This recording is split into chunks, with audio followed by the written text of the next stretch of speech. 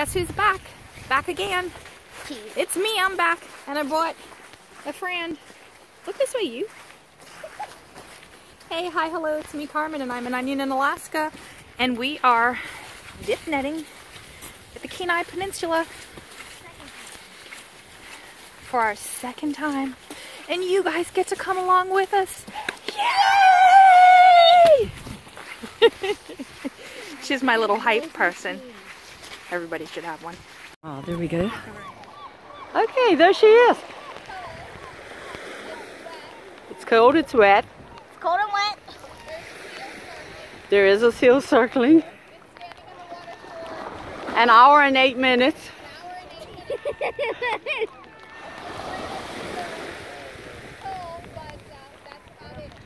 Did you hear that? The fish ran into the pool, but it didn't go into the net.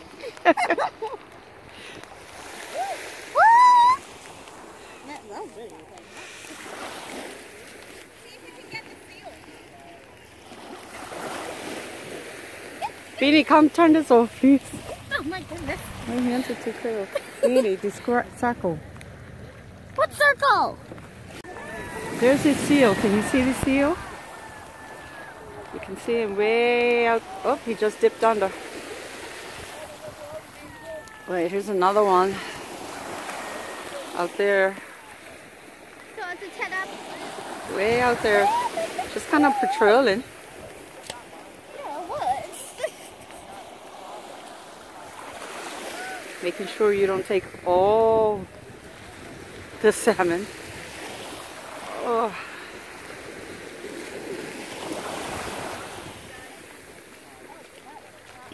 There's the onion.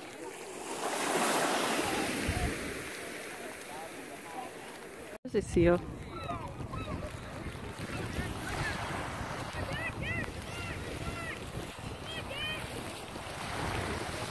Oh, he just dipped under again.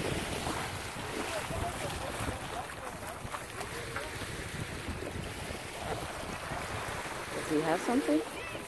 Yeah, he does. All right. Good job. All right, Good. one more time. Stop, let go of my pedal. All right, guys, so we didn't catch anything. And we could stay longer, but we're not. Because it's cool It's wet. And raining. and raining. And we're freezing. And they say to the person who's been standing in the water for over an hour, they say they'll freeze. My hands are numb. My toes are Everyone's numb. been standing in the water. Look at my hand. Look at the color of my nail bed.